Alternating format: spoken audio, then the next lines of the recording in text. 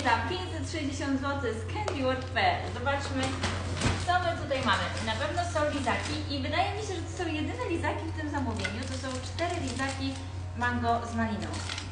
Patrzymy dalej. Mamy tak, cukierki wiśniowe, cukierki winogronowe, cukierki o smaku warzyw cukrowej, trzy paczki.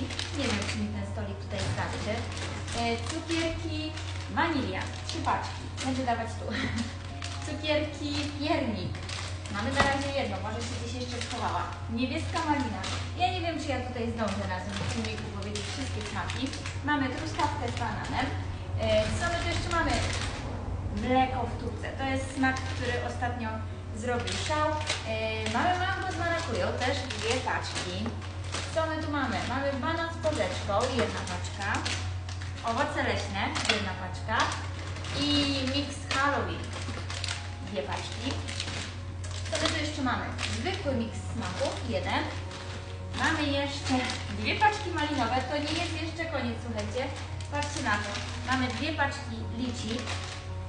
E, Co my jeszcze tu mamy? O, widzę arbuza. Widzę arbuza. Mamy dwie paczki arbuza. Jedną paczkę porzeczki. Co jeszcze, co jeszcze, co jeszcze? Cytryna, mega kwasior, najkwaśniejsze. Wydaje mi się, że to są wszystkie smaki naszych cukierków.